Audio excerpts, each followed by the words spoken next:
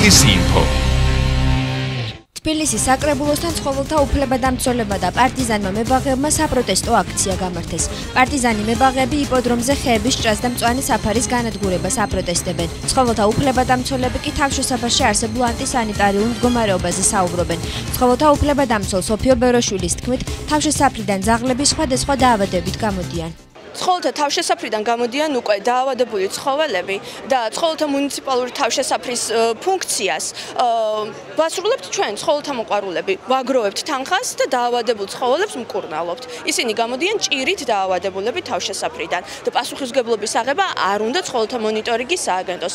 ჩვენ ასევე ვითხოვთ აუცილებლად რომ მოგცეს საშუალება ცხოველთა მონიტორინგის სააგენტომ და საკრებულომაც რომ ჩავატაროთ მონიტორინგი ცხოველთა თავშესაფარში, რადგან იქ რეალურად მძვინვარებს დაავადებების ეპიდემია. ხეების მოჭრას არეგულირებს მუნიციპალური სამსახური. აზრებს კის ან არას უფლებას.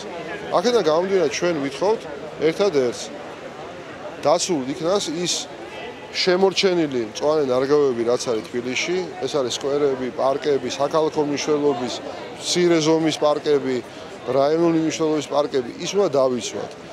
აქციას საკრებულოს ოპოზიციონერი დეპუტატი ფრაქცია გაერთიანებული დემოკრატების წევრი თამარ ცინცაბაძე შეუერთდა. მან თამარაშვილის ქუჩაზე მრავალწლოვანი ხეების მოჭრის ფაქტი გააპროტესტა და განაცხადა, რომ თბილისში არსებობს ტერიტორიები, სადაც შესაძლებელია მშენებლობების განხორციელება ისე, რომ მრავალწლიანი ნარგავები არ მოიჭრას.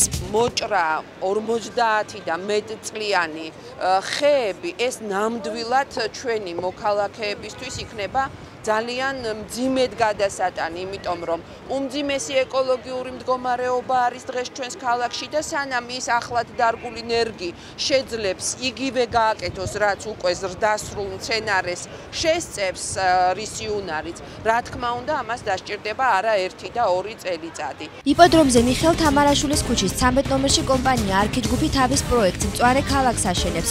27 აპრილს კომპანიამ ხეები მოჭრა, რამაც ადგილობრივი მოსახლეობის პროტესტი გამოიწვია.